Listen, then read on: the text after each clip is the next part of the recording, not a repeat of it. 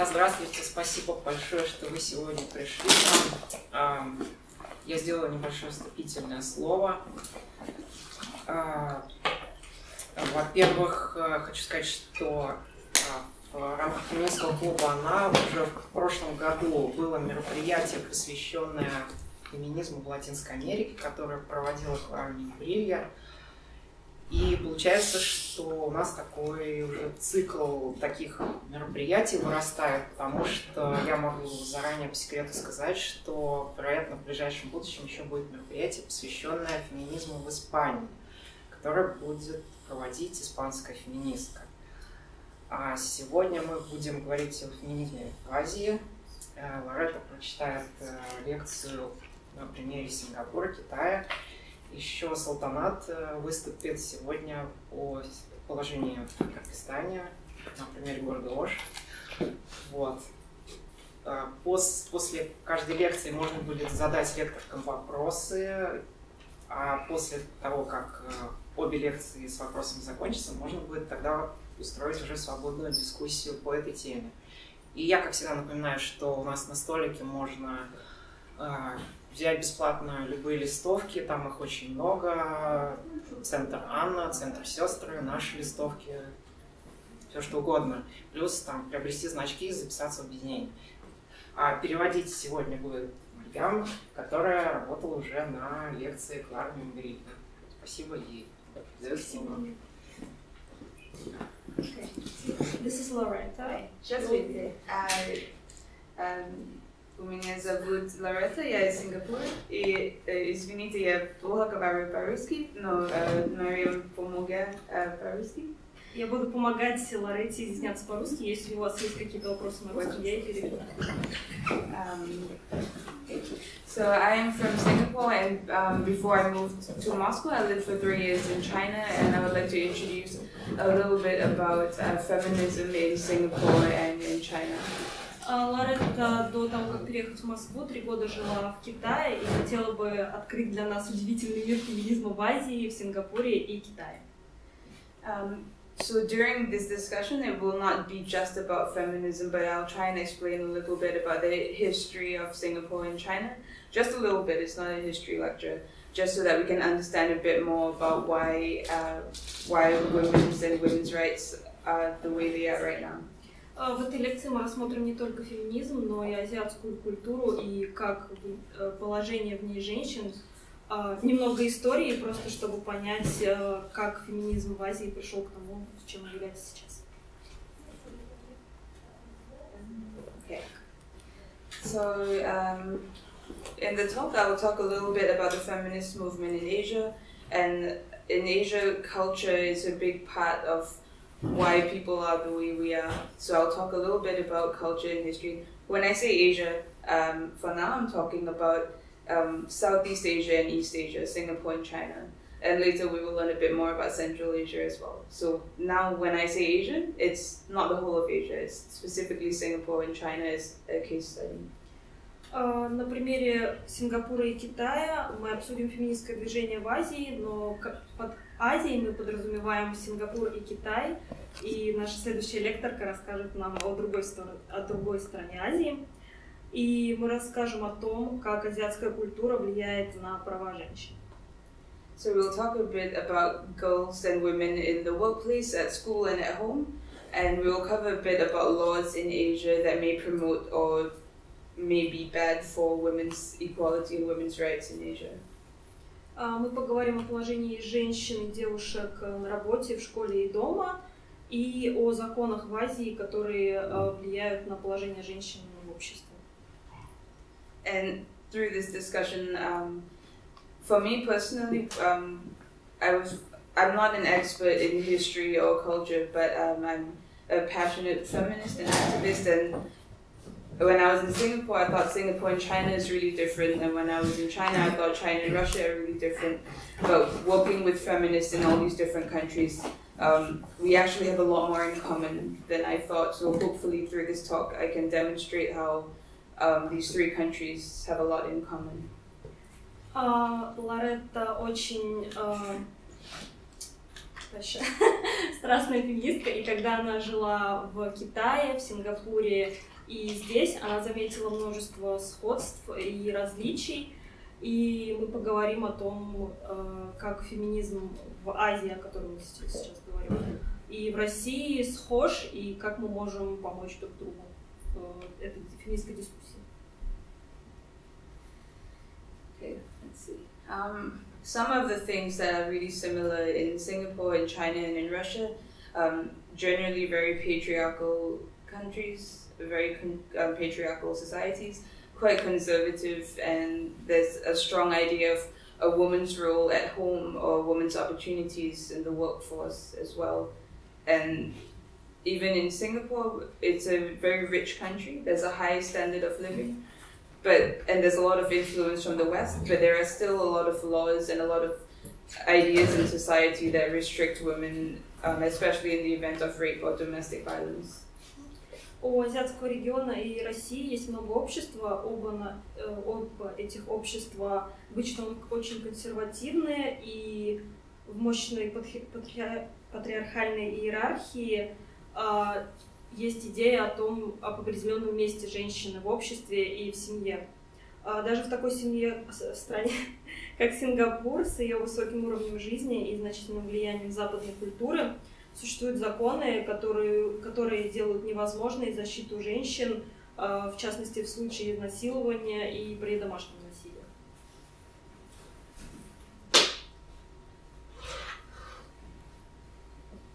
Um, so, like I was saying before, there, um, there's a lot of culture in Asia is very important for everything that you do. Um, cultures in Asia are generally very conservative compared to the West. Um, there's a lot of traditional family values, so you're expected to listen to your father, your husband. There's a lot of male dominance and patriarchy in the home and sometimes in the workplace as well. Um, filial piety is a very important thing in East Asian culture. So you have to show respect to your parents and your elders all the time. For example, even if you think someone who's older than you is in the wrong, you you have to give them respect and allow them to, to have their way.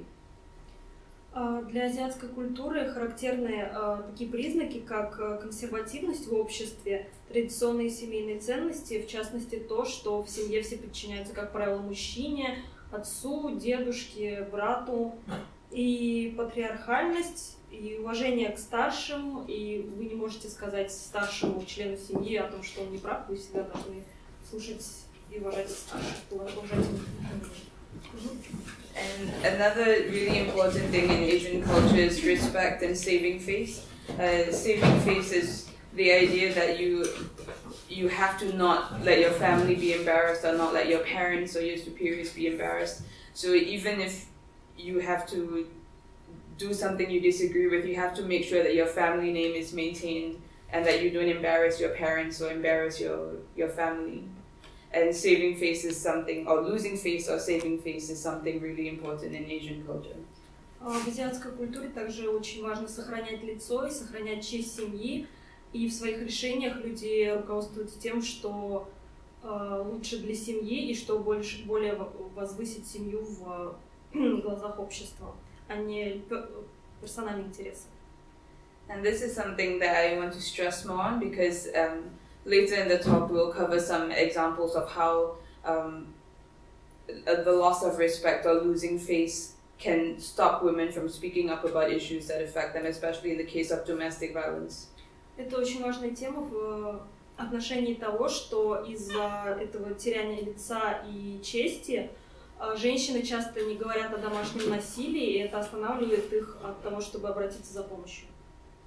And finally, Asian, well, East Asian people at least are very private people. So if I have a problem, I am not going to tell people about it, even if there's problems at home, if there's domestic violence, if I've been raped. I'm very unlikely to talk about that with even my closest friends, because in Asian culture, you keep everything to yourself and you only share good things. And this is true in many cultures around the world, but I think especially so in Asian culture, you you don't want to tell things that are bad. You only want to talk about what's good.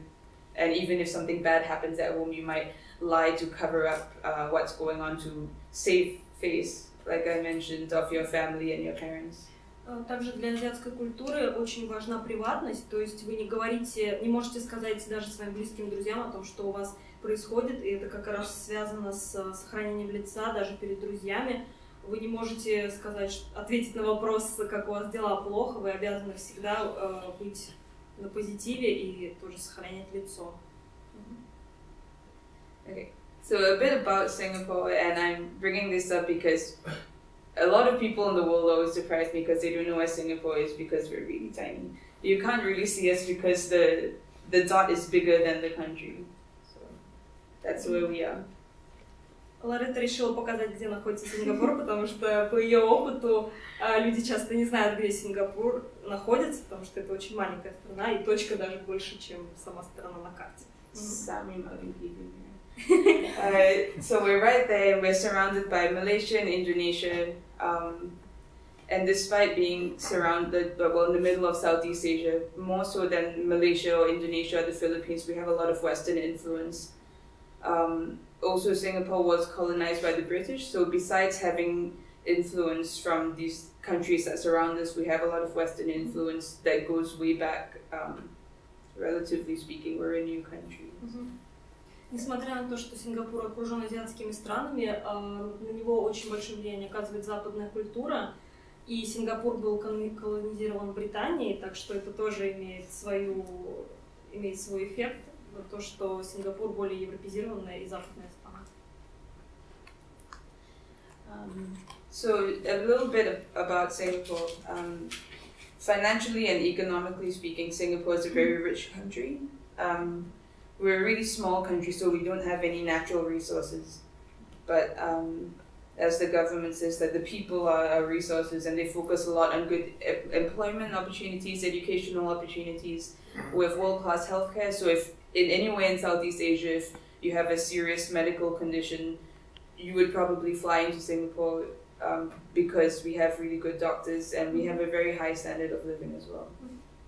А с финансовой точки зрения Сингапур очень богатая страна, и поскольку она маленькая, в ней нет э, ресу- ну, своих ресурсов, и правительство говорит, что народ — это ресурсы Сингапура, и она находится на вершине по своим экономическим показателям. Э, В стране высокая занятость в сфере труда, хорошее образование и очень высокий уровень э, медицины для Азии. То есть если у вас в Азии какая-то есть э, медицинская проблема, вы можете прилететь, прилететь в Сингапур и решить ее, потому что там очень высокий стандарт медицины. Um, ethnically, Singapore is a very diverse city. So originally, people came from India, from China, from Malaysia, and like I mentioned, we were a British colony, so there were a lot of Europeans who were coming into Singapore as well. So our current population is made up of people who whose grandparents or great grandparents came from these countries. Сингапур многонациональный город э, с большим количеством этнических групп, э, таких как индийцы, китайцы, малазийцы и евразийцы, которые составляют э, его большую часть его населения. Um, so while Singapore has a lot of Western influence, we um, we work with a lot of Western companies. We have a lot of trade, and more so than a lot of our neighbors, we work well with the West. We have good ties with with the U.S. and with Europe and a lot of other countries.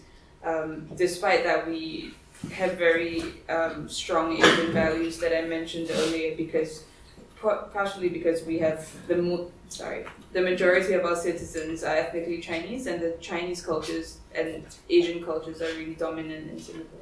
А, Несмотря на влияние западной культуры и то, что Сингапур работает с Европой и США, азиатская культура оказывает очень большое влияние на культуру Сингапура.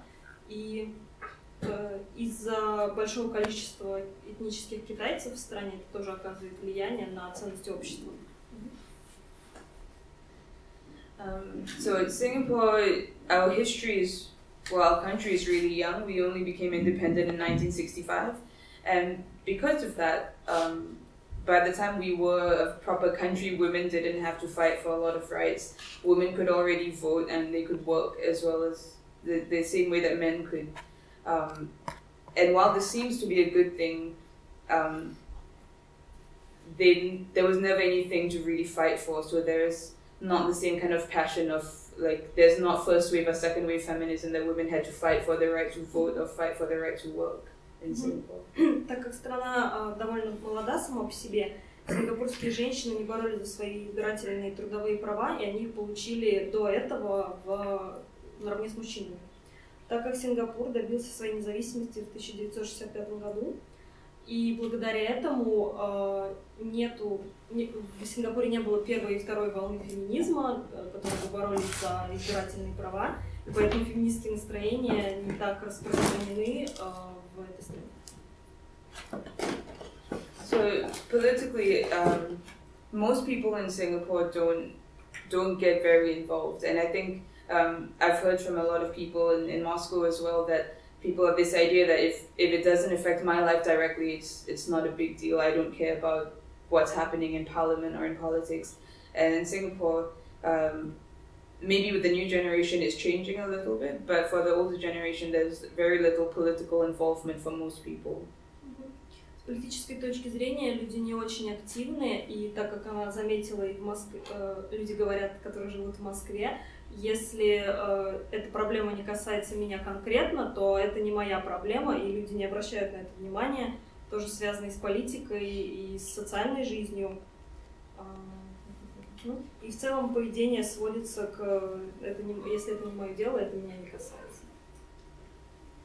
And again, there's a sort of Asian privateness where your parents, when you, when you grew up, your parents or your teachers will tell you it's not your problem, it's not your business. Don't don't bother with the problem that's that doesn't involve you. So currently in Singapore, like a lot of people have this idea that it's not my business, so it doesn't affect me, so it's not my problem. И также из-за приватности азиатской культуры детям часто говорят, что если у кого-то есть проблема, то это не твоя проблема, оставайся в стороне, не трогай, это не твое дело, и люди растут с этой идеей. Okay, so this is a, a quick timeline about how Singapore came to where it is now, including how women uh, women's roles have been. So, like I was saying, it since 1948, before we were even independent, both women and men could already vote. Women never had to work towards uh, get winning the right to vote. Hmm? Okay.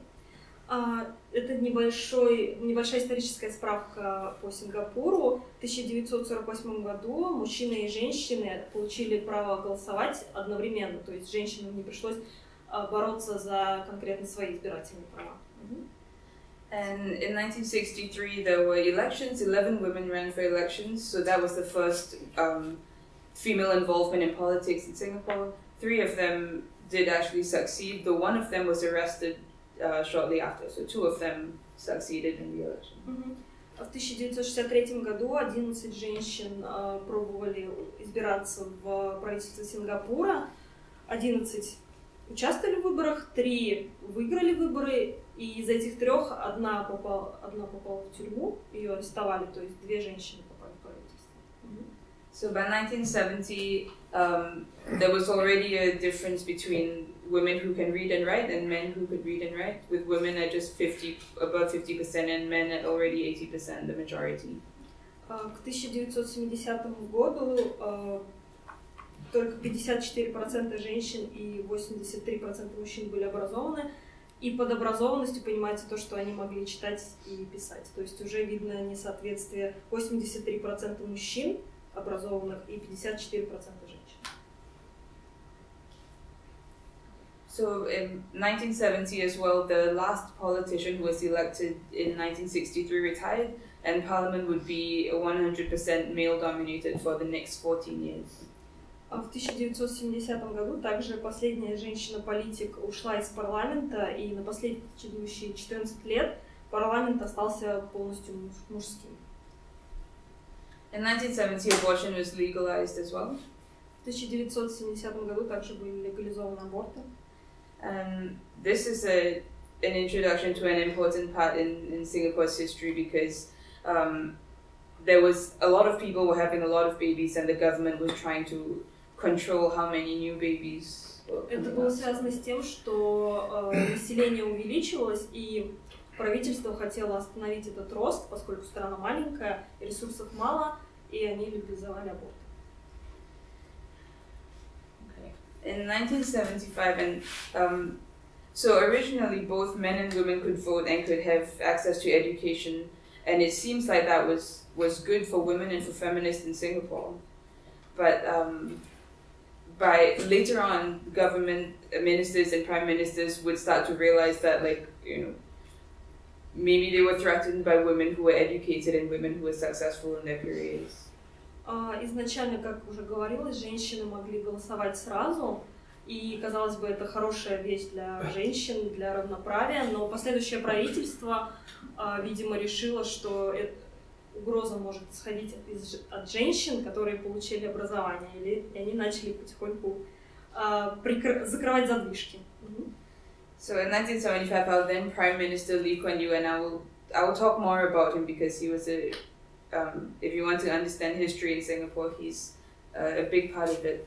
Um, he publicly said for the first time that equality for women in education and in their careers would lead to a family breakdown, which ties back to the Asian culture I was talking about, where it's patriarchal and there are a lot of expectations of women's role in, in, the, in the home and in society. Mm -hmm. 1975 году э, премьер-министр на то время Ли Куан, о котором мы поговорим еще больше, поскольку это большая, это важная фигура в истории Сингапура, он вызвал беспокойство, высказал беспокойство о том, что равенство женщин и мужчин э, в сфере образования может привести к разрушению семей, и это может быть отсылкой к азиатской культуре, которая сама по себе очень патриархальна и имеет определенные идеи о том, где, э, о месте пола- о положении женщин в обществе и конкретно в семье. And okay, so in 1979, um, the government imposed a quota restricting women's access to um, become medical students at Singapore's National University. The reason for this was that they thought it would be a waste of resources if they put so much money and time into educating women to be doctors. Um, they were under the impression that if a woman gets married and has kids, she's just going drop out of being a doctor. В 1979 году э, правительство создало квоту, которая ограничивала количество женщин э, в, на медицинском факультете Национального университета. И эта квота была одна треть, поскольку э, правительство не хотело тратить столько денег и времени на обучение женщин-докторов, и правительство предполагало, что женщины после обучения сразу выскочат замуж, и правительство не получит никакого профита от обучения. So I think at the start of Singapore's independence, the same rights were awarded to both men and women. But as you can see, um, things slowly started to decline for women and the opportunities that we had. Изначально существовало равенство, по крайней мере, в политической жизни для мужчин и женщин, но в последующем э, ситуация начала ухудшаться для женских прав. Okay. Uh, this is really important in uh, Singapore's history. The Stop at Two campaign, which was imposed by the government to um, to sort of regulate how many babies women were having. From a feminist perspective, it's important because, um, to me at least, this is our outrightly government policing of women's bodies and what we choose to do with our bodies. Э, В 1970 году э, правительство начало кампанию э, «Остановись на двух детях», чтобы подвергнуть restriction. Да, ограничения. Женщин заставили ограничиться на рождении двух детей. И с феминистской точки зрения это важно, потому что фактически правительство а, распоряжалось телами женщин и говорило им, сколько детей им нужно и должно иметь. So women were encouraged to have only two babies. Um, for if you had more than two babies, you would not get um, the same maternity leave. You would pay higher hospital fees, and on the other side, um, we, if you chose to sterilize yourself, you would get cash incentives and you would get more leave and more benefits. А, Для того, чтобы стимулировать женщин остановиться только на двух э, детях, а, правительство инициировало денежные выплаты для женщин, прошедших стерилизацию после рождения двух детей. И также для женщин, которые рожали третьего и последующего ребенка, для них было а, более дорогим медицинское обслуживание и другие льготы были сокращены. So here is examples of a few posters that the government um, would paste everywhere to encourage women to stop at two. Um, women in the in the 70s and 80s will be very familiar with this. Like I asked my mom, and she said like my mom and all her friends were the women who were the target of these posters. So women who were of childbearing age in the 70s and 80s. Это пример пропагандистских э, изображений, которые правительство вешивало.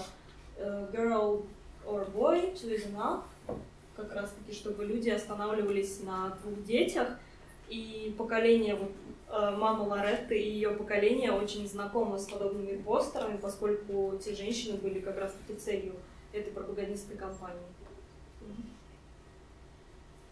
Um, okay, so by 1986, the government realized that they need women to have more babies. So this is another step of the government encouraging or advising women what to do with their bodies. They realized that if we were going to have a sustainable population, we needed to have two or more babies. Um, but as you can see, that never happened until today. That has not happened yet.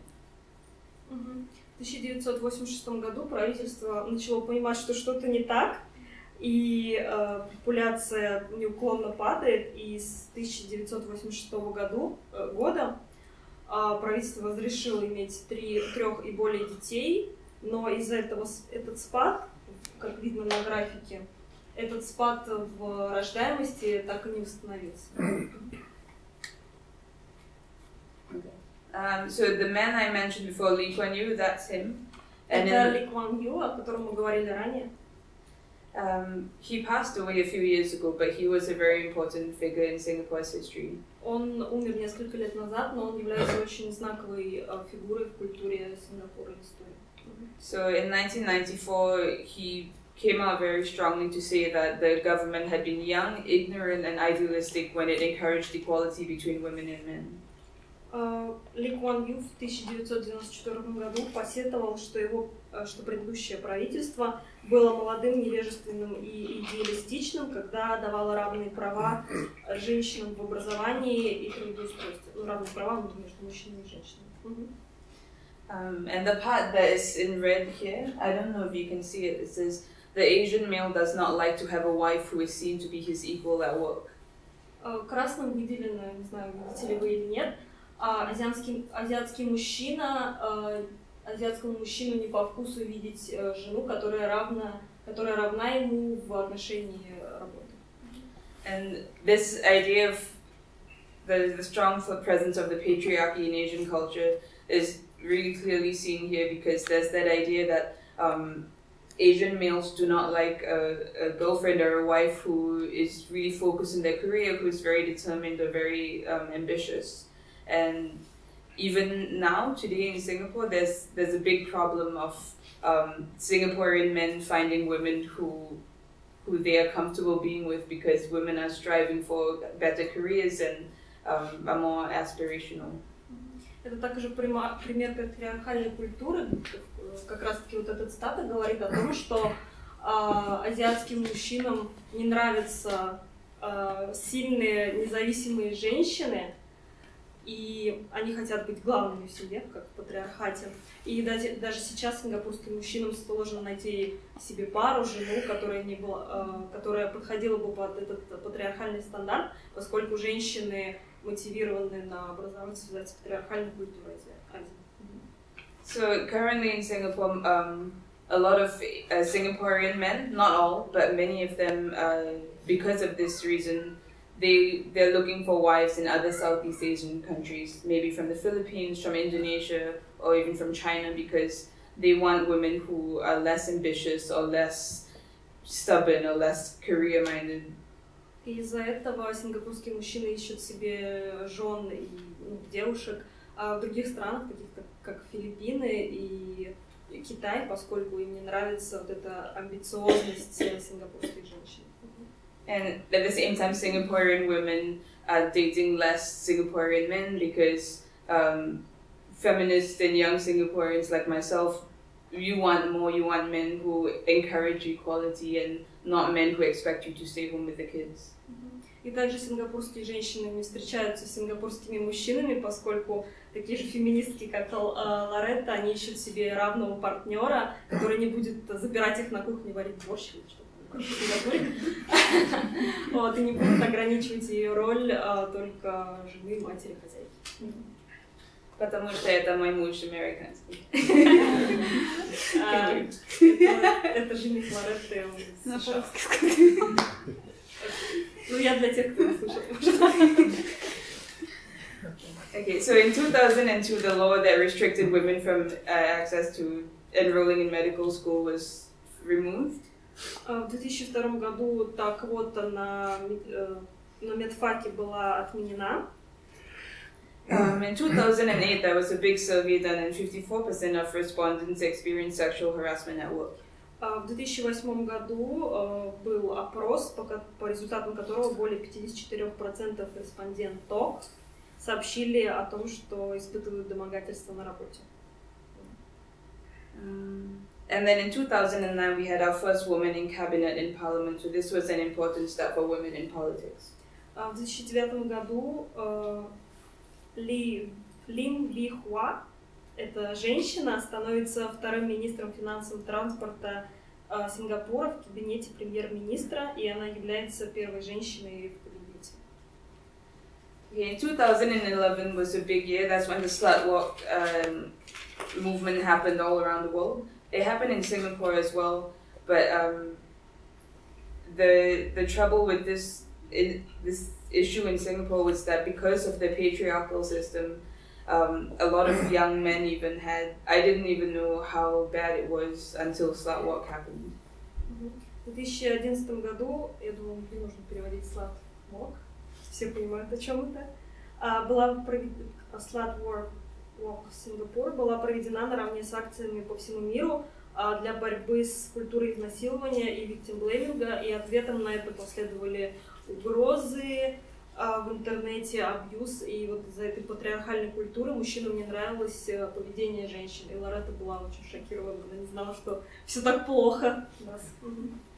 Um, I mean, you can see from the picture here that uh, it's a very alternative, you know, people with like colored hair and like it's not mainstream culture. It's like the punk community and the alternative community would support this event, but most like regular mainstream people they don't А, see it. Эту, эту прогулку поддержало большинство неформалов, то есть вы видите представителей м, ко- неконформных субкультур, а, и мейнстримные люди, м, их не было, в общем. So while Slutwalk was happening and I was volunteering with this event, um, it's, it's really scary because there was a lot of a lot of men were very speaking out very strongly against it. So we received rape threats and death threats and men who were saying, I have your picture, I know what you look like. If you go for this event, we will find you and we will rape you and like it was really scary for feminists in Singapore during that А, time. Лоретта была волонтеркой на этом проекте, и они получали очень много угроз изнасилования, угроз а, а, убить их. А, Они, а, мужчины, которые делали это, они могли взять фотографии и ну, сфотографировать участницу и сказать, я знаю все, как ты выглядишь, я там убью тебя, изнасилую, найду тебя. И все в таком роде это было очень страшно для них. Uh, here's an example of like the um, victim blaming by the Singapore police force. Um, there was a series of ads, and this is one of them that we addressed in Slutwalk of a woman very conservatively dressed, just in a t-shirt and pants, but the idea that if something happens, it's still your fault because um, you didn't take the right steps to ensure your own safety. So in the West, slut walk came about because you know the the policemen were saying don't wear such short skirts or don't drink too much. But in Singapore, it's it's that and worse because even this woman's, she's not drinking, she's not in a nightclub. It's still seen as her fault or her responsibility. И также эта Slutwalk а, была направлена против э, компаний, таких как она. Это пример виктимблейминга в сингапурской культуре. Как видно, женщина одета очень консервативно, даже нет никаких... а, она не пьяна, она в джинсах, и все равно надпись говорит «не дай себя потрогать не так». То есть это а, месседж не для мужчины, который трогает, не трогай, а это месседж к женщине. То есть они обвиняют женщину в том, что она позволила себя, не защитила себя должным образом и позволила до себя как-то не так дотронуться. Мгм. Okay. Um, 2001 as well. Up until this point, there was this law in Singapore that says uh, if a man is accused of rape, um, it may be shown that the woman who says that he raped her was of immoral character. And the, the law doesn't say what is immoral character, it's up to the judge or to the lawyer to decide. So in 2011, this law was taken out. И также до 2011 года существовал закон, а, в котором говорилось, что если женщина за- заявила об изнасиловании, а, м, мужчина, которого обвинили в изнасиловании, мог, а, най- а, мог изви- изъявить сомнение в том, вера- вела ли она себя морально, и моральный ли она персонаж, и како- какой моральный облик жертва несет, и на основании этого а, решение суда могло измениться в пользу насильника. And I mentioned earlier that uh, the British brought a lot of their culture with them, and this is one of the the things that they brought. So this is under common law, which was in the U.S. and the U.K. and in many other countries as well. Um, but they removed this law a long time before we did in 2011. Этот закон был э, позаимствован из других культур, но, как видно, а, в США он был отменен в 1974 году, а в Британии в 76 в Гонконге в 78 в Малайзии в 88 а в Сингапуре он был отменен, к сожалению, только в 2011 году. Мгм. and that's it's not the only law that the British brought that Singapore has held on to. Um, for example, there's another law 377A which uh, criminalizes homosexuality. So in Singapore, um, um, men and men's sex is also illegal, which is also under this Still this. British law. Still illegal, yeah. Uh, okay, I didn't know that. Uh, Также примером плохих законов, которые Сингапур а, позаимствовал, может служить закон о, неза- о запрете гомосексуальных связей, то есть гомосексуальный секс, э, в, частности, между мужчинами, запрещен до сегодняшнего дня. Um, the government doesn't have a law against gay women. А О лесбиянках у нас ничего не говорится, только мужчины. It's not because they are more liberal about women. It's just they don't acknowledge that lesbianism is Да. Это не потому, что они любят лесбиянок, а потому что они просто не договаривают, не подозревают о существовании лесбиянок. And there's another law I'll talk about later. Um, I'll talk about that later. Okay, um, so even though this law was removed in 2011, it's very, like with these laws, it's very technical. So it, even today, and this article was from first April, so just a few days ago. Um, this is a rape case where a girl was drugged or raped, uh, drugged or maybe un- under like the heavy influence of alcohol, and she was raped by a man. And her boyfriend found her using the Find My iPhone app, and they found her in the house of another man. So this is the trial that um, just happened a few days ago. Mm-hmm. Э, Несмотря на то, что этот э, закон о моральном облике был отменен, э, последствия его в обществе, то есть общество думает также, оно обращает внимание на моральный облик жертвы. И эта статья о случае изнасилования, вот как раз от 1 апреля, это было совсем недавно, о том, что девушку изнасиловали и накачали, наркотиками, потом изнасиловали, и парень отследил ее по телефону и узнал, что она находится в доме другого мужчины. So the case um, finally happened, and despite the fact that this um, this law has been removed already, the same responses that we've seen for many years still happened. These are examples of what people say in response to cases like this. А несмотря на то, что как раз-таки этот закон был убран, а, общественное мнение все еще а, обвиняет жертву, и это примеры а, общественного мнения и того, чего, что люди говорят по поводу этого случая, по поводу этого изнасилования. So this is um, quotes that I took from that particular case, but these are the same responses you see for any rape case. Это как раз таки цитаты э, под этой статьей, под этим делом, но похожие ответы можно видеть и в других делах об изнасиловании. So the most common thing is she asked for it. Самое распространенное, конечно же, она сама выпросилась, если быть совсем откровенным. Irresponsible parent. О том, что куда смотрели родители. And this is um, coming back to the family culture in Asia as well, because uh, the people who are blamed in this case, first of all, is the girl. Secondly, is her parents. Thirdly, is her boyfriend. And nowhere on that list is the rapist who did the actual crime. А, и это как раз-таки а, мостик к патриархальной культуре, потому что в первую очередь винят родители о том, куда смотрел ее отец, почему он ее пустил. Потом говорят о том, куда смотрел ее парень, почему он ее пустил в таком виде, туда и все в таком роде.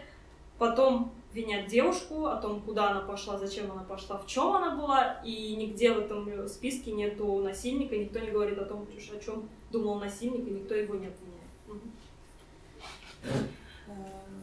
And the idea that if you went out to a nightclub, you were looking for some exciting experience, like being raped, because that's what women want when you go out to a nightclub, obviously. Так, читаю цитату. Простите уж, дамочки, которые любят клубы, должны заняться своей душой, заглянуть вглубь себя, не волновались ли они, что что-то такое случится. То есть общественное мнение говорит о том, что если ты ходишь в такие места и хочешь получить какие-то новые впечатления, не изнасилование, то ты знала, на что идешь. And again, the background of the girl has to be checked, which is especially important because, you know, in 2011 it was already officially removed as a law, but you can't put a law on people's opinions, and this is still what most people think that if she is someone who has had sex before, has had multiple partners, or if she went out and she was drinking, that is is relevant to the case of whether it was rape or not rape. И люди говорят о том, что девушку неплохо было бы проверить на всякие связи, в том числе и сексуальные. И это опять же говорит о том, что люди смотрят на моральный облик девушки, если у нее был секс до этого, если у нее было до этого несколько партнеров, то люди предполагают, что она знала, на что идет, и обвиняют ее. and again blaming the father saying that even though her father has nothing to do with this they're still blaming the father because he's supposed to be in charge of his daughter or his wife or the women in his house. Угу. Если бы у нее был нормальный отец, он бы не позволил этому случиться. И люди винят отца, поскольку он должен был следить за своей дочерью, он ответственен за нее, поскольку он глава семьи.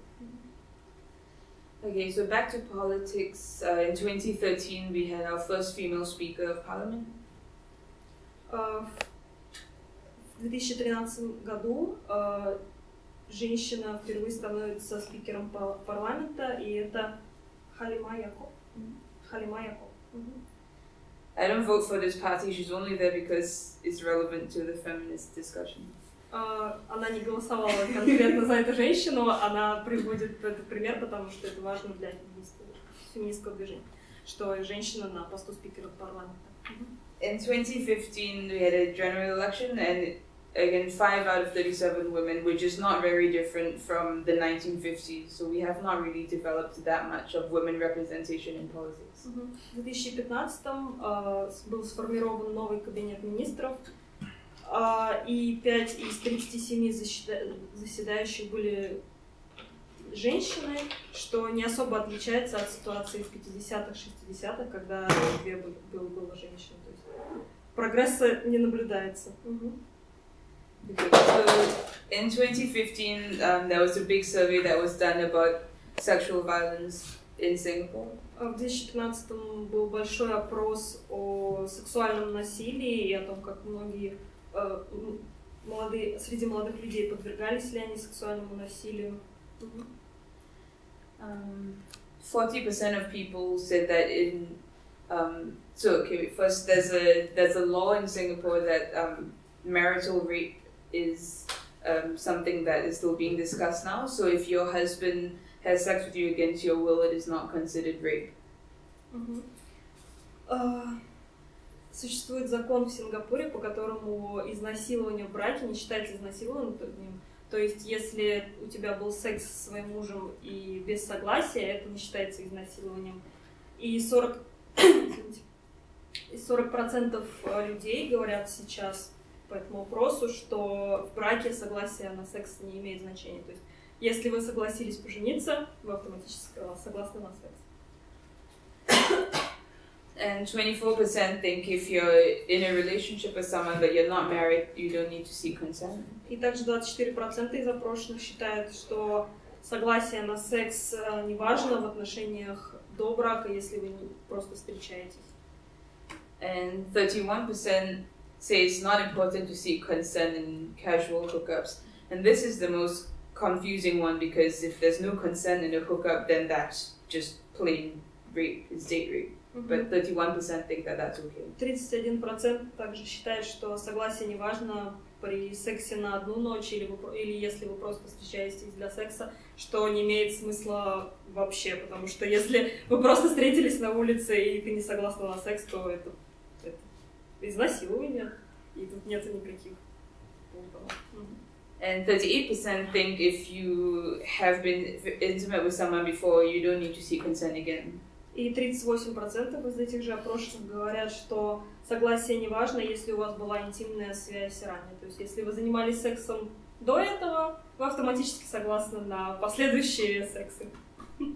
And I want to bring up again like the Asian culture I talked about before because, like I said, people are very conservative and very private. So if 40% of people actually said in a survey that I don't think it's important to have consent, we can assume that the number is much higher than 40%. So it's frightening to me what is the real number if 40% of people admitted to it. It's much, probably a much higher number. Поскольку в азиатской культуре, как мы уже говорили, не принято выражать свое мнение и приватность, эти 40%, о которых мы говорим, что 40% сказала, что согласие не важно, а, на самом деле цифр гораздо больше, и люди, которые люди, которые просто не высказались. И Лоретта очень боится знать реальные цифры, сколько же людей на самом деле так считают. And 40% of the respondents, and the age is important here as well because um, if you're 40 and below, 40% of people think if you're dressed provocatively, you are asking for it. And people who are above 40, it, it spikes quite a lot higher. 50% of people think that women who dress provocatively are asking for it and bear the responsibility of harassment that they face.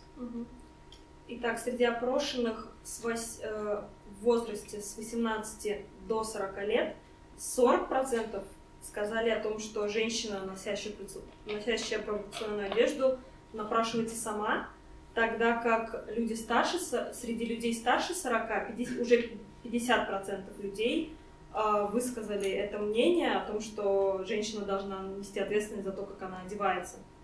То есть люди младше не намного, но все-таки меньше так считают. And this one is, uh, I think it's the worst part of all this, that 71% of women who are abused by their partners are not likely to make a police report. Mm-hmm. И это самое страшное в этом вопросе, что почти 72% женщин, которых опрашивали, а, если они подвергнутся абьюзу, они не заявят в полицию. И это, опять же, сохранение лица и интимность, приватность в азиатской культуре. And this also comes back to Asian culture where people want to keep things Huh? I already told this. No, I'll say it in English for the video. People want to to keep things at home and they don't want to lose face or to embarrass them themselves or their, their spouse. Люди не хотят выглядеть как-то не так и не хотят признаваться в том, что что случилось. And it gets even worse because 83% of people think that if you're in a violent relationship, you should stay in the relationship under some circumstances. For example, if you have children, for the sake of the family, you should stay with your husband. Mm-hmm. и 83%, это самое ужасное в этом вопросе, А, верят, что женщина, если она находится в абьюзивных отношениях, неважно каких, а, ментальных или физических, если ее убьют, она должна оставаться в этих отношениях при определенных обстоятельствах. Например, если у них есть дети, она должна сохранять семью, и мы опять же видим in Russian culture this. Мы можем видеть это тоже в русской культуре, о том, что женщина не может разбивать семью, а у вас же дети, ребенку нужен отец, и все в таком духе, это тоже существует в азиатской культуре. Um, okay, that's uh, the overview of Singapore and politics and laws. А, мы закончили с э, обзором феминизма в Сингапуре.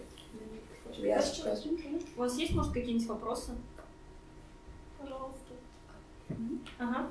Вот Там а, женщина, которая, по-моему, в 2013 году была в правительстве, да? Ага, Она была в платке, Ага. да. А, а Это какая-то особо... э, Сингапурские женщины все так ходят? Или она покрыли? Singaporean woman, she mentioned this woman in hijab. Does every Singaporean woman like Muslim or or wear this? Uh, only for so like I was saying before, Singapore is made up of a lot of people who are Chinese or who are Malay or Indian. There's many different types. So she happens to be a Muslim.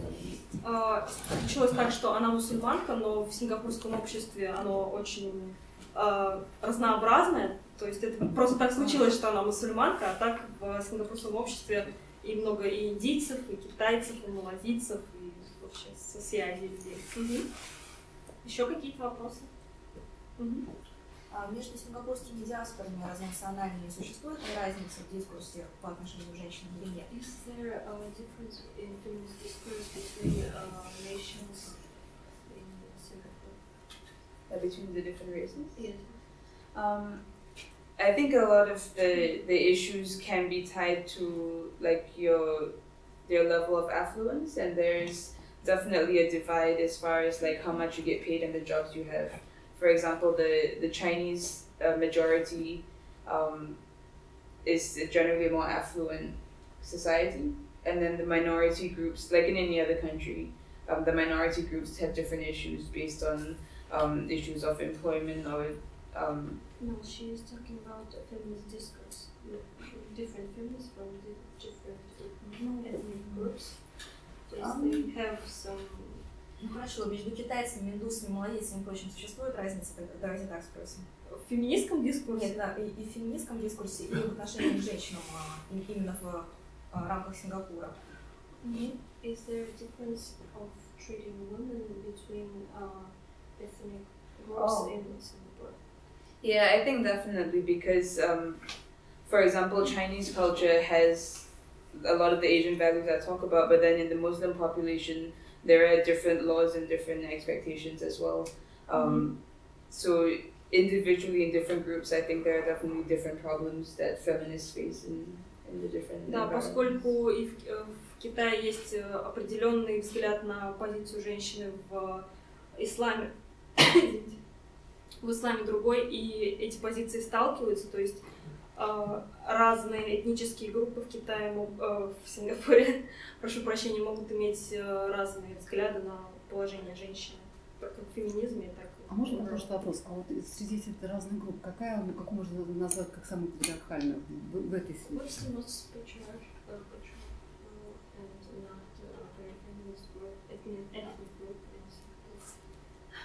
Um, What's the worst?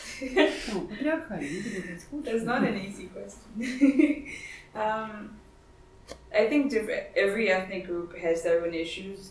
Um, the, I'll talk more about Chinese culture in the next in the next part, but Chinese culture has a lot of patriarchal views, but um, everyone has different opinions of like Islam and Muslim culture.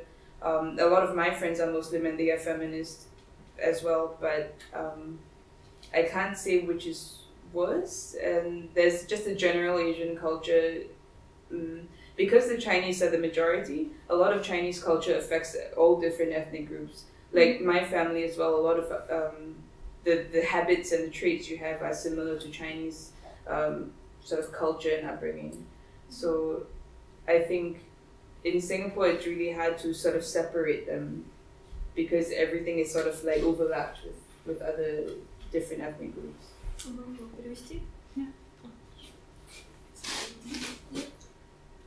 Насколько распространены низовые феминистские организации? Есть ли они вообще? Ну, например, какие низовые? Ну, вот есть, например, организовала эту встречу группа РФОАНА. А, А, и у нас, в принципе, в стране есть какие-то группы низовые. мгм. А, А я... То есть ты Есть говоришь не о вегано-феминистках, анархо-феминистках, а именно о таких объединениях, как РФО. Да, ну просто какие-то объединения, которые что-то делают, важно, что мероприятия или они там Is there феминизмом many uh, занимаются, feminist или еще что-то organization важно. like this one in Singapore? Is there like many of them, or it's just a general, general feminist movement? Um, so there's one. A lot of the information I got for this presentation is from a group called Aware, and I will talk about them at the end of this talk. But things like slut walk and events like that is very grassroots community. It's not really an organization. It's just group of groups of women. But there are a couple of different feminist groups. Есть несколько, есть пара больших феминистских групп, но такие акции, как вот Slutwalk, их организуют сами женщины, сами по себе, вне каких-то организаций. Еще? Эти организации смысле законные? Они не, ну, их не, они не встречают препятствия со стороны властей? Is there government uh, um, deals how to government deal with this feminist organization? Um. Let's Is see. there receiving threats from the government or I think so. I will. I will talk a, a bit more about this at the end when we are looking at different improvements. But um, it's. I think it maybe it's similar to Russia in the sense that like a lot of the time you just try and get your message out, but you don't know if there's going to be a change in the government. Fortunately, more recently now, I think the government's more a little bit more proactive in responding to feminist groups. Within the government, there's a women's group as well. Um, but a lot of the the work that Singaporeans do, feminists do, but how government treats these feminist groups? they don't comment that much on it. I think. Um, So they just uh, ignore that and pretend like this women doesn't speak. Uh, we're going to talk about Singapore government. That's like a whole different story. Yeah. but um, I think in the past they would just ignore it, but now, especially with the internet, with social media, if people want to talk about it, they have an obligation to respond. So more and more issues that feminists are really like talking about, the government is being forced to acknowledge them and talk about them. And I'll talk a bit about that later on in the Кто спрашивал перевести вам? Да, чтобы всем понятно было. Да, ну, то есть до этого они не обращали внимания, но сейчас э, им приходится, и какие-то феминистические идеи доходят до правительства. Мгм. Да. Are there any lesbians, non-feminists in Singapore? Yeah, definitely. Like in you know? Um, yeah. like uh, there is um, there's definitely a strong community in Singapore, and the organizers of Slut Walk, quite a lot of the participation was from the LGBT community. Um, but being gay in Singapore is also a big deal because, as I mentioned, there are laws that um, even though it only targets gay men, it, Mhm. it it's not enforced, and the government has said. Um, we don't enforce the law because it maintains our Asian values. Mhm. But the fact that the law is there criminalizes um, issues in the LGBT community. So um, a lot of activists and feminists uh, do come from both male and female gay and lesbian members of Singapore as well. Еще? Перевести вопрос кто-то может? Хорошо, перейдем к Китаю. Перейдем к Чайна. Okay. um, Спасибо за вопрос. Yes, thank you for your questions.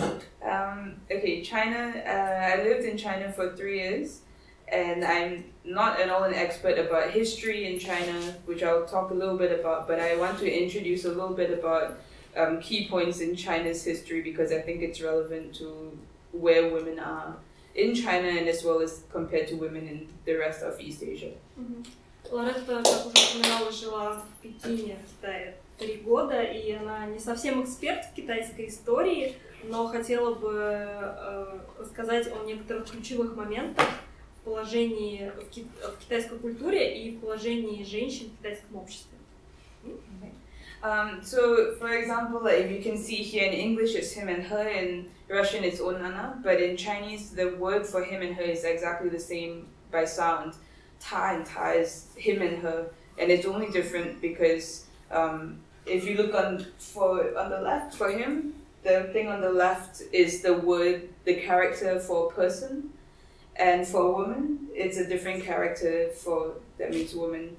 So China has a whole different idea of what it is to be male and female. It's not like in English, him and her, in Russian, it's onana. In China, it's ta and ta. It's, it's the same sound, it's the same word. So we need to understand that in China, the how people look at men and women is not the same as the rest of the world. А, В Китае взгляд на позицию мужчин и женщин отличается, и это можно заметить в, на- в самом написании иероглифов мужчина и женщина. Вы можете видеть, как пишется him, он, соответственно, та — это он, и та по звучанию одинаковые он и она.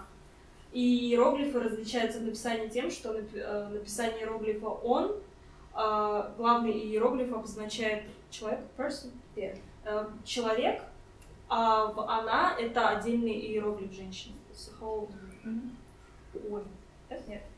А, то есть взгляд на то, э, что такое мужчина, и что такое женщина, кардинально Как это отличается. можно экстраполировать, если местоимение, извините меня, есть отдельные слова для мужчины и женщины, есть отдельное слово для человека и прочее. Ну как это лингвистические критерии вообще можно экстраполировать? Я просто не понимаю на основании двух этих иероглифов.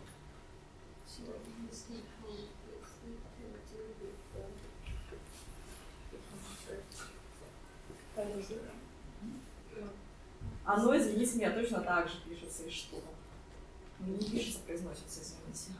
She says that it uh, pronounced the same way in autism. Um, and it's- it's- Ah, okay. Um, I guess it's just uh, in Chinese culture, it's not it's not necessarily seen as like him or own or her and Anna as two completely separate things.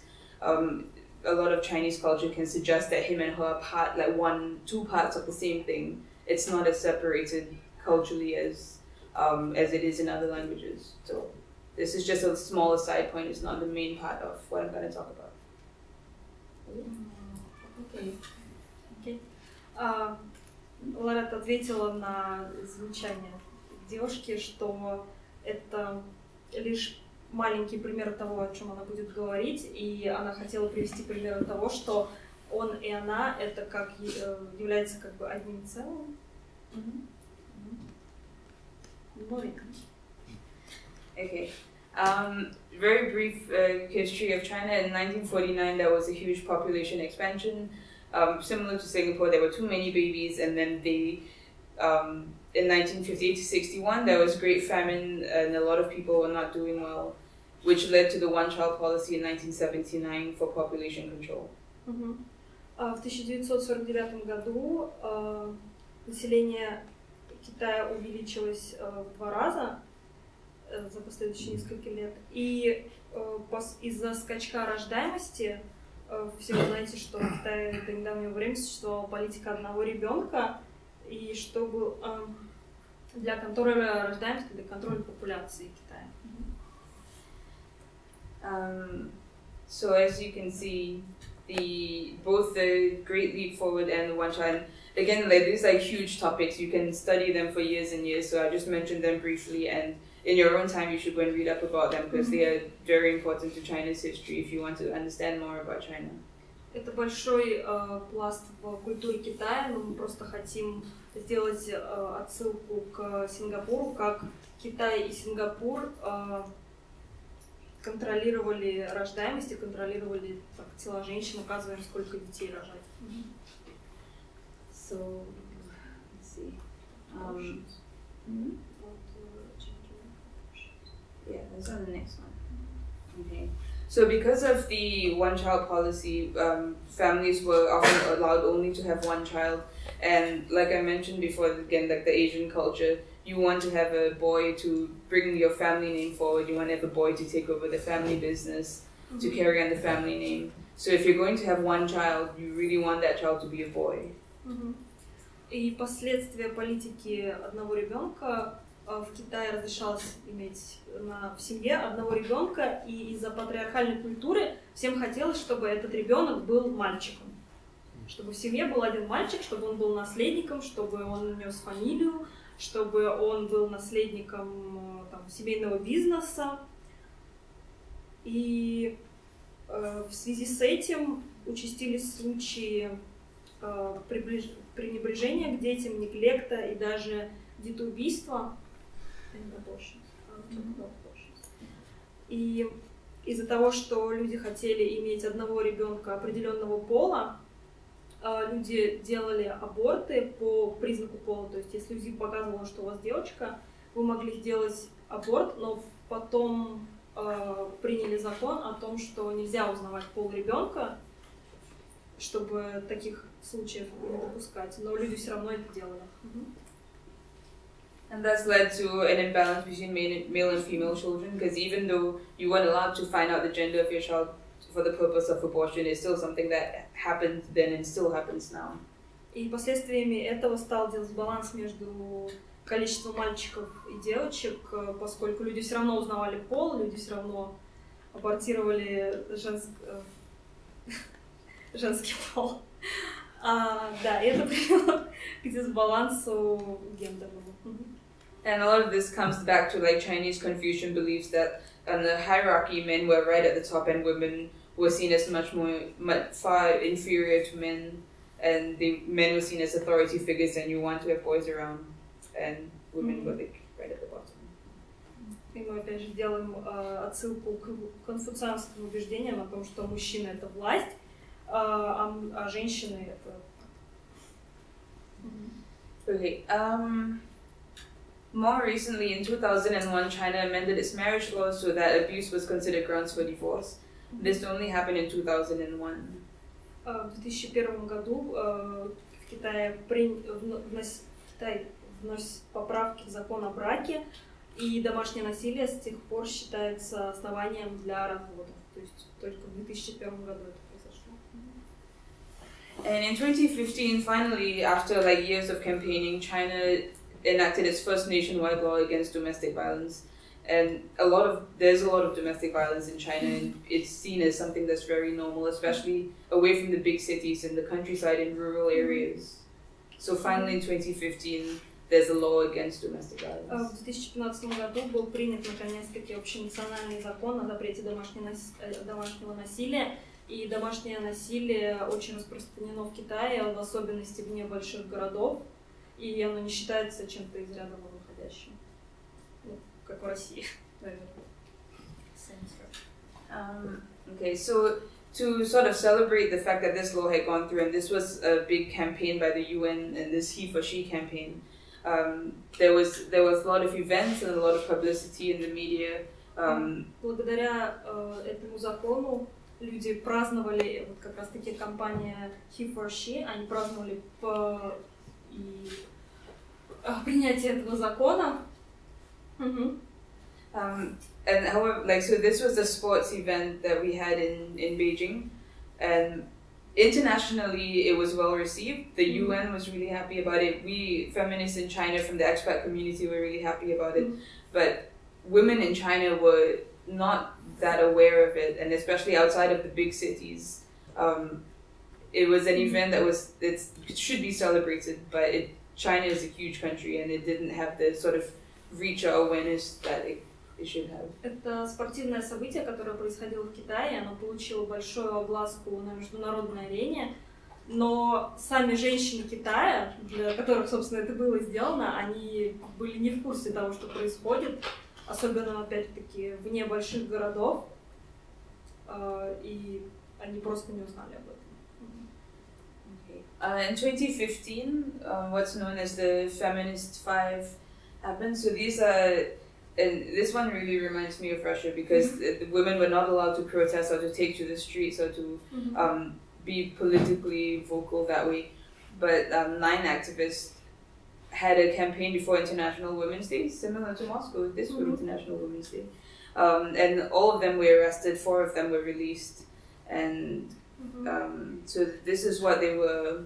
Um, they were campaigning against domestic violence. They held up a lot of signs um, promoting feminism and um, trying to call attention to the fact that there is a lot of domestic violence. So they wore like um, wedding dresses covered with blood to demonstrate that domestic violence happens a lot in China. Мгм. А Также власти Китая и Пекина, Гуанчжоу и Ханчжоу задержали перед э, Международным женским днем э, девять активисток, которые э, раздавали э, наклейки и также ходили в свадебных платьях, покрытых кровью, которые э, показыв- э, которые обращали внимание на проблему домашнего насилия. И власти задержали 9 активисток прямо перед Международным женским днем. В настоящий момент выпустили только четырех из них. И сообщается, что остальные пять планировали раздавать наклейки, пропагандирующие феминизм, э, рассказывающие о женских правах, и с надписями типа «Арестовывайте тех, кто совершает домогательство, а не тех, кто э, подвергается». And so this is an article by The Guardian, and it was a really difficult time for feminists in China because um, this was maybe the most. Это um, статья из Guardian.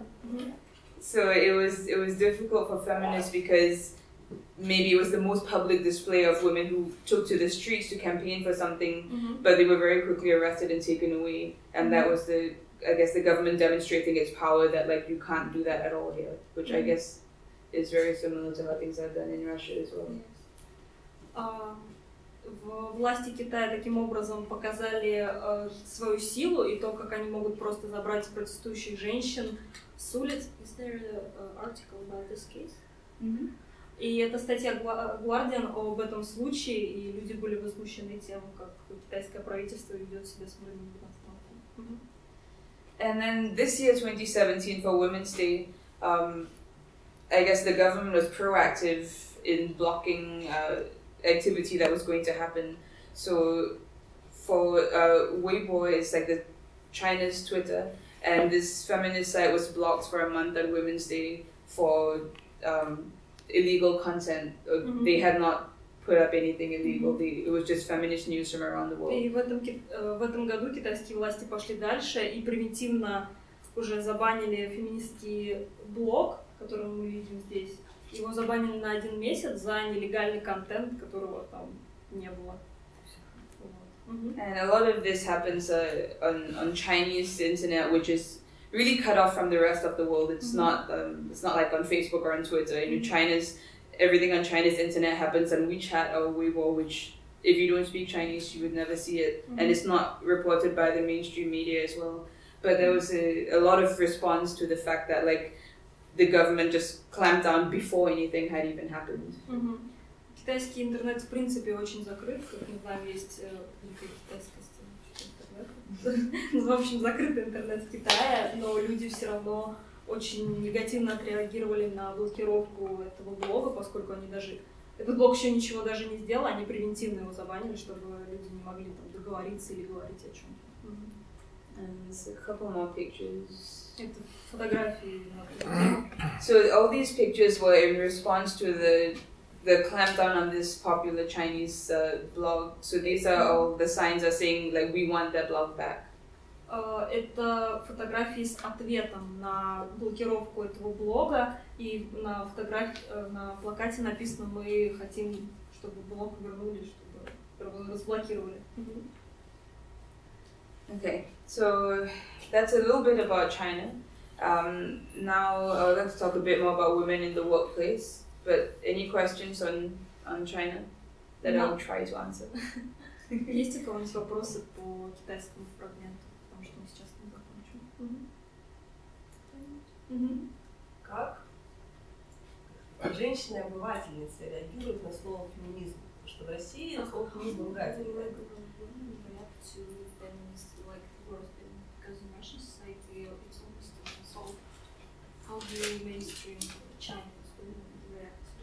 I think it's it's the same in China. Um, I wanted to to get a tattoo of the word feminist in Chinese, and I had looked really hard to get a proper translation. And even um, my my Chinese teacher, when I asked her, she was like, "This word means uh, which means feminist, but it's it's not good. It means women are equal and women are strong." And I'm like, "But that's good, right?" А Лоретта рассказывает о том, что хотела сделать татуировку с иероглифами феминистка и очень долго искала ее.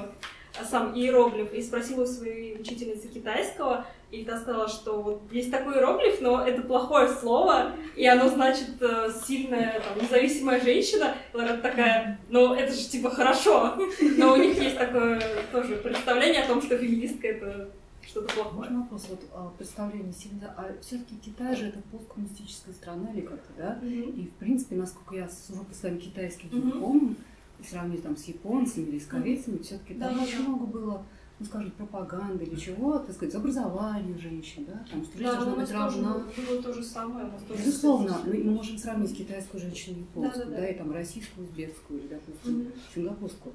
Понятно, просто как бы вот мне немножко странно слышать о том, что а, какая-то китайская женщина, при всем том, что пропаганда работает вся на то, не только работает, что женщина должна быть образована, там, вот, вот.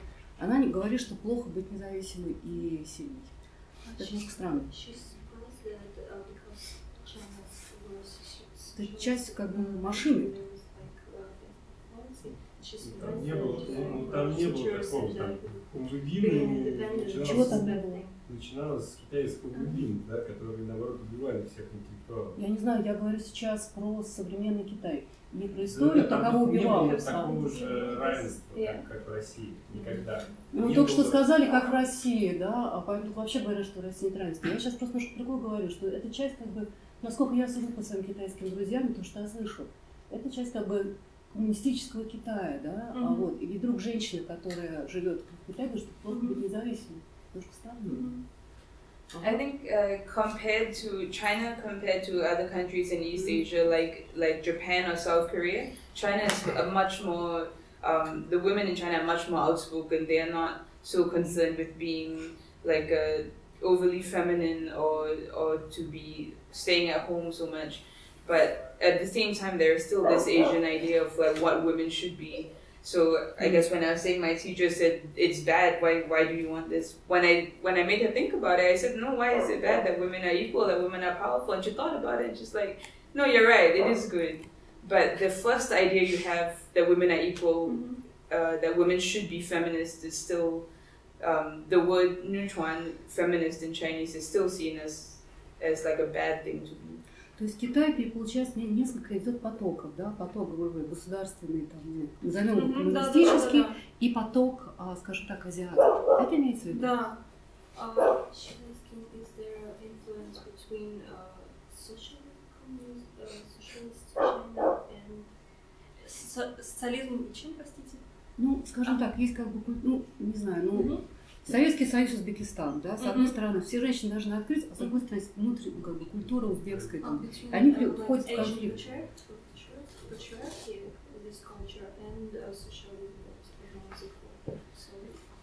Um, it's like combined. Yeah, that is a complex question. Uh, um, again, I think like more it, it helps women in China more so than in other countries. And also when I was talking about like the Great Leap and the famine, women were expected to stand up. Women weren't just expected to stay home. Um, I don't know if that would have happened in South Korea or Japan, but maybe because of China's communist socialist beliefs, um, in times of trouble, women were expected to step up to do like the man's job of like managing the house or managing the business if that was necessary. But it's still not seen as a woman's role equally or above a man. Do you understand? А, отличный вопрос. Постфактум, что получило китайское правительство по вопросам демографии на сегодняшний момент? China? Потому что перевес должен быть большой. Ну, я хочу заметить ремарку, что вот политика одного ребенка, а, ты мог иметь двух детей, но тебе нужно было платить, то есть богатые люди все-таки могли иметь двух детей. Ну, они, а, Да, да, их да. меньшинство, они Это всё просто равно- ремарка, да. What's the resolution of this one child policy? Um, well, now now they're getting more relaxed about the one child policy. So um, as of uh, was it this year? I think last year they've started to relax it a little bit more. For example, if if I'm an only child and my husband is an only child, Yeah, yeah. our Mhm. child can have two children. So they are trying to sort of change that now to to encourage more more children within reason. So it's starting to change a little bit, but um, it's really new. It just happened in the past couple of years, so we have to Mhm. wait and see how it will change the demographic. Так, а что по поводу стеклянного потолка в Китае? What's about glass? Да, Um, actually, that's coming up later in my presentation, so А, I'll ты talk about that later. China. I have like a little um, bit about um, women in power in the book. So I'll Следующий слайд будет э, женщин в работе. Если будет что-то непонятно, ну, спроси еще. Мгм. Несколько лет назад был скандал, когда какой-то из э, китайских политиков, я не, не знаю точно подробности, назвал женщин старше определенного возраста испорченными, мол, а вот они замуж не торопились выйти.